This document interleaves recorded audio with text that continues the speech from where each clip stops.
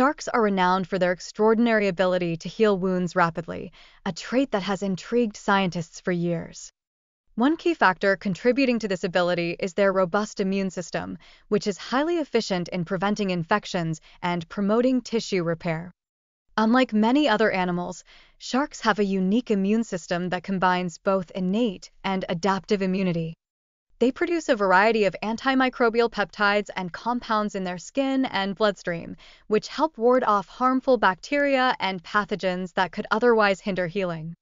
This antimicrobial defense is particularly important given their marine environment, which is teeming with microorganisms.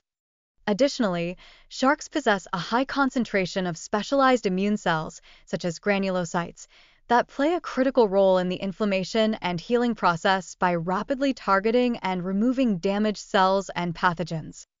Another contributing factor is the presence of bioactive compounds in shark tissues, including cartilage and liver oil, which may accelerate wound repair. Shark cartilage, for instance, contains proteins and molecules that have been shown to promote angiogenesis, the formation of new blood vessels, and collagen synthesis, both of which are essential for regenerating damaged tissues. Moreover, sharks' evolutionary adaptations, such as their skin structure composed of dermal denticles, may provide a physical barrier to prevent further injury and infection. Their ability to heal quickly is likely a result of millions of years of evolution in harsh marine environments, where rapid recovery from injuries would have been critical for survival.